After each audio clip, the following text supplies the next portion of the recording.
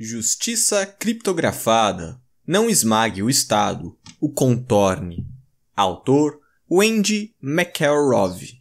O anarco-individualista do século XIX, Benjamin Tucker, referiu-se ao anarquismo como sociedade por contrato. Os contratos podiam expressar qualquer troca, desde aluguéis até prostituição, de apólice de seguro a transações com drogas. Os contratos não seriam legais ou ilegais, apenas consensuais.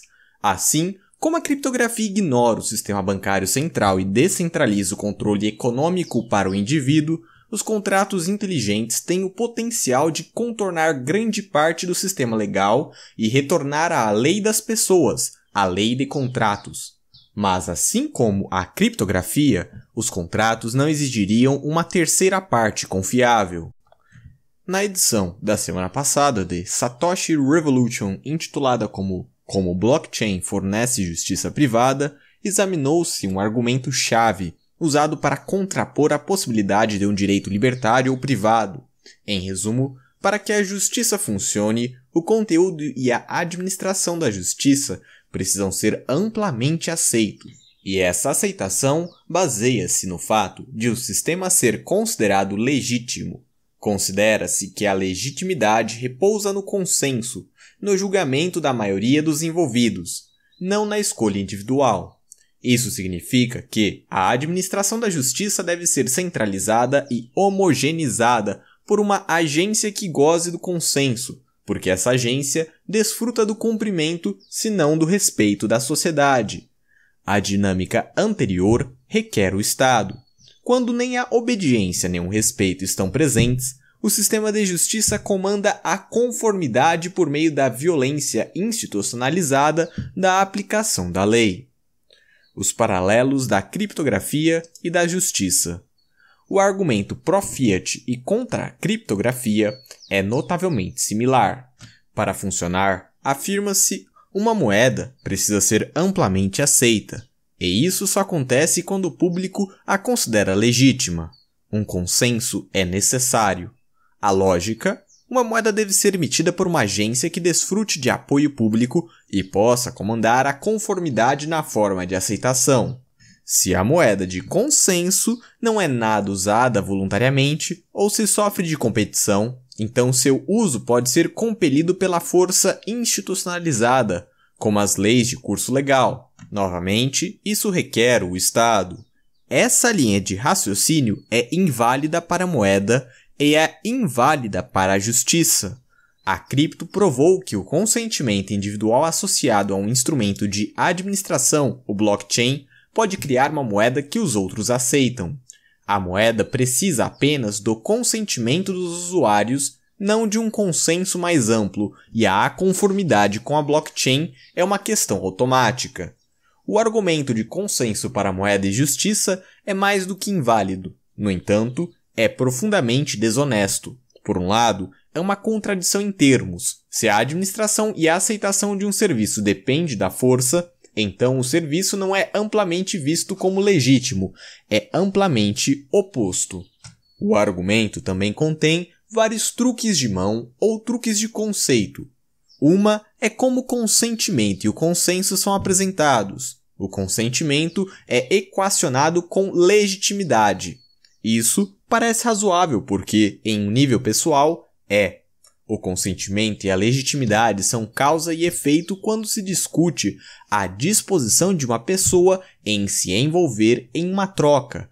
Um casamento se torna legítimo dizendo eu faço, mas o argumento da legitimidade toma um rumo acentuado quando introduz consenso.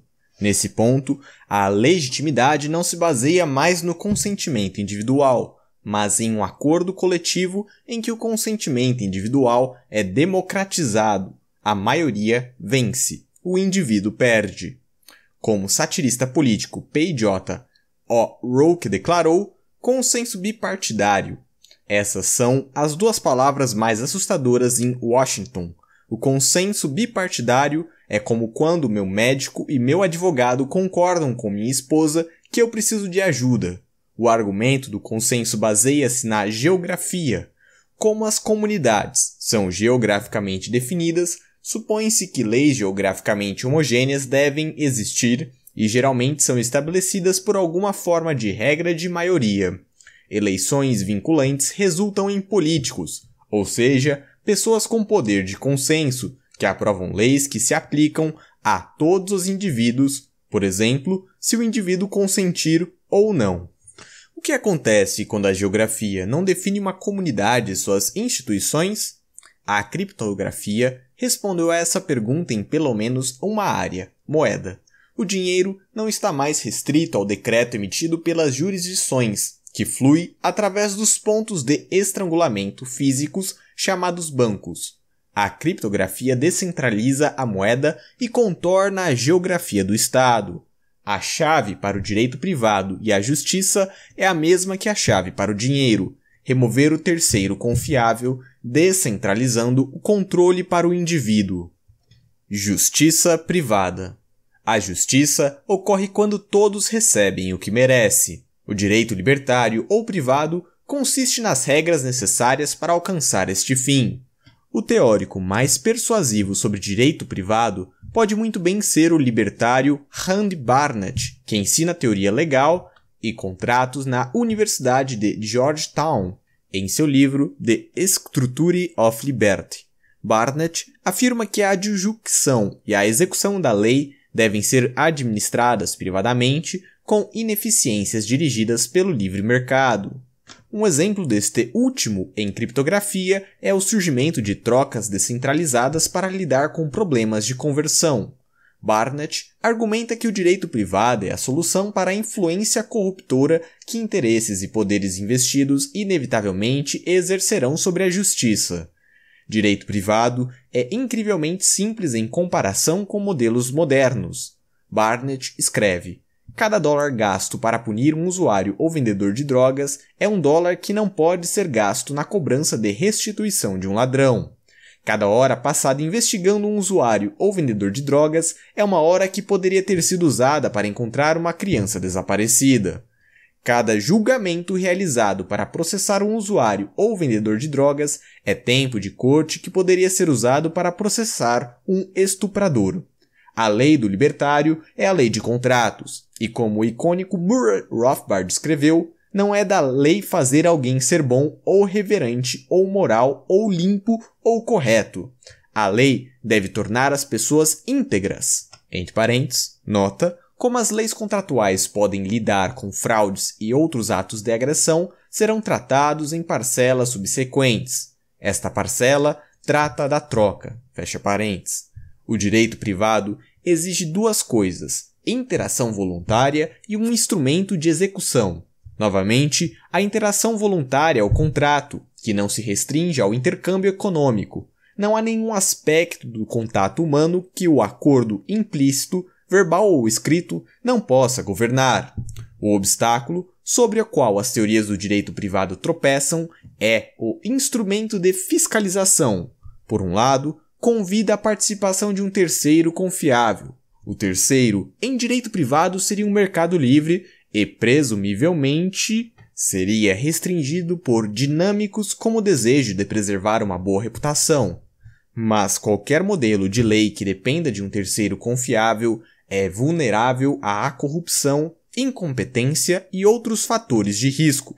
Quanto mais dependente, mais vulnerável se torna. O gênio de Satoshi Nakamoto foi remover o problema de terceiros confiáveis das trocas econômicas. Mas o potencial do blockchain se estende muito mais. Tem profundas implicações para o direito dos contratos. Algumas das implicações do blockchain para o direito contratual. Uma transferência na blockchain é um contrato simplista entre pares, que memoriza os termos para os envolvidos e é visto como válido pela comunidade do entorno por meio da transparência. É uma troca voluntária. O blockchain é também um instrumento de execução que incorpora os termos de execução como a irreversibilidade com os quais ambas as partes concordaram. Seu acordo é expresso pela disposição de usar o blockchain. Assim, o blockchain expressa ambos os requisitos da lei libertária, facilita a interação voluntária e atua como um instrumento de execução. Quando a lei é reduzida a contratos e sua execução, então o código é a lei, literalmente. Isso parece simplista porque expressa a simplicidade do direito privado, mas as trocas peer-to-peer e on-off oferecidas pelo blockchain têm valor limitado para sociedades que exigem complexidades, como contratos em andamento para aluguel. É aí que os contratos inteligentes, discutidos na edição anterior, entram em cena. Os contratos de autoexecução permitem que os indivíduos escapem das limitações do blockchain, definindo seus próprios termos adicionais para uma troca e sua aplicação, incluindo provisões para a inadimplência. Os contratos inteligentes estão em um estágio primitivo de desenvolvimento no momento, mas seu significado social e político, é claro, eles descentralizariam a lei até o nível individual, personalizando os termos do acordo e eliminando a necessidade de um instrumento de execução de terceiros. Este paradigma do direito é livre de geografia, o que torna livre da necessidade percebida de consenso. A blockchain apaga as fronteiras, pois carrega os contratos que está consentido em todas as jurisdições do mundo. As implicações disso são imensas. Se toda troca define a execução, sua própria versão da lei, e se a justiça consiste em cada pessoa receber o que ele merece, então as pessoas podem codificar sua própria versão do que é justo e muitas visões de justiça podem existir e se executar em paralelo e paz. Uma pessoa pode conduzir a vida diária por meio de contratos que expressam a lei ocidental comum. Seu vizinho judeu ortodoxo pode preferir contratos que incorporem a lei rasídica. Outro vizinho pode ser um comunista. Se a justiça é descentralizada para o indivíduo, a diversidade desenfreada não é apenas possível, mas também inevitável. Em outras palavras, um mercado livre na justiça. O código não é apenas a lei, é também justiça. A necessidade de aplicação da lei, advogados e árbitros não será eliminada, mas seria tão reduzida a ponto de se tornar invisível para a maioria das pessoas. A necessidade não seria eliminada porque ainda é necessário abordar não apenas a operação da vida cotidiana, mas também o colapso da vida cotidiana, atos de fraude e outras violências. Continua. As reimpressões deste artigo devem ser creditadas ao bitcoin.com e incluir um link para os links originais para todos os capítulos anteriores. Então, já que eu tenho que deixar o link, vou deixar o link lá na descrição. Não se esqueça de compartilhar esse vídeo, deixar aquele like e, se possível, faça uma doação para o canal. Isso é muito importante para eu continuar produzindo aqui a todo vapor. Abraço. Tchau.